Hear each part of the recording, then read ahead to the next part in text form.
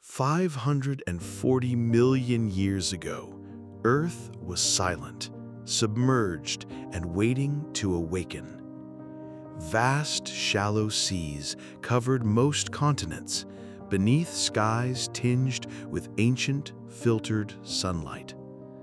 No trees, no footsteps, just water, heat, and the quiet potential of chemistry.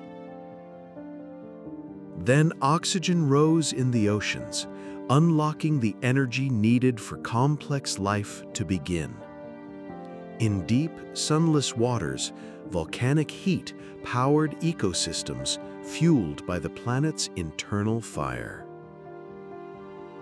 Along muddy shorelines, tides shaped unstable boundaries where life first tested its limits.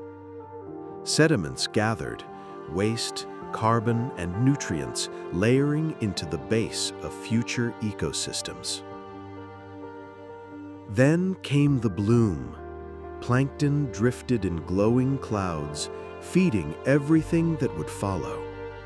Food webs emerged, grazers on the floor, filters in the water, predators on the move. Bacterial mats were scraped by trilobite-like feeders with tough bodies and rasping limbs. In the water above, filter feeders extended soft arms catching invisible particles adrift. Others tunneled through the mud, stirring decay into life and sculpting the seafloor beneath. Predators arrived, swift, alert, and deadly.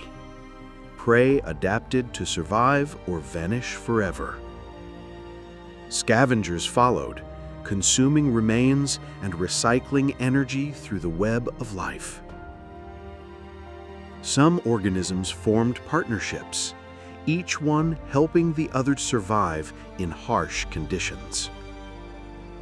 Slowly, living reefs began to rise. Sponges, mats, and colonies stacked layer by layer.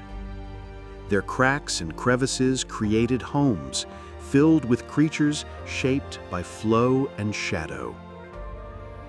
As seasons turned, currents shifted, bringing warmth and bloom or silence and scarcity. Massive shoals migrated together, following ancient rhythms etched deep into their being. Beneath them, burrowers carved tunnels, quiet chambers in the layered world below.